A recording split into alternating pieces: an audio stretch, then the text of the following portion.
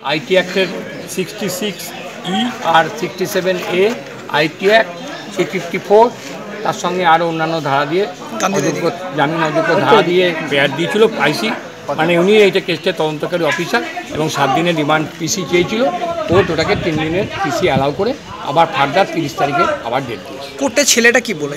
ছেলেটা নিজের নিজের একটু মনে হলো একটু সাইকিয়াট্রিক পেশেন্ট কারণ নিজেই বলল হ্যাঁ আমি ইয়ে পাঠিয়েছিলাম। তখন ম্যাডামকে অনেকক্ষণ বলার পর ম্যাডাম বলে কি হ্যাঁ? বলবে? অনেকক্ষণ ম্যাম আমি কিছু বলব বলব। স্বীকার করে সেটা হ্যাঁ? স্বীকার করেছে আমি পাঠিয়েছিলাম।